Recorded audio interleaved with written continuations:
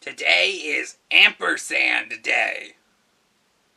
I'm celebrating a random symbol with a stupid name. This is my life. It went wrong at some point. I'm just not sure where.